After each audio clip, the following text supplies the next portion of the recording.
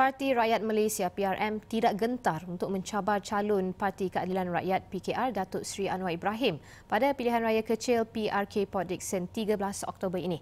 Presiden PRM Muhammad Hashim Sa'aludin berkata pihaknya yakin rakyat di kawasan itu akan memberi sokongan kepada parti tersebut. Katanya soal menang atau kalah tidak menjadi keutamaan PRM sebaliknya misi penting bertanding di PRK Port Dickson demi menyuarakan masalah rakyat. Tampaknya uh, kita kata menang atau kalah tapi kita tetap menjadi pembangkang yang bermaruah selalu mempertahankan hak rakyat.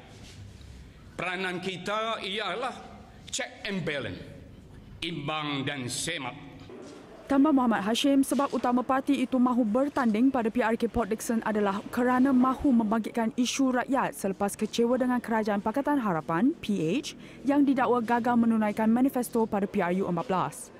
Ujarnya, parti itu akan bermesyuarat terlebih dahulu bersama jawatan kuasa parti bagi menentukan calon yang akan bertanding pada PRK itu nanti.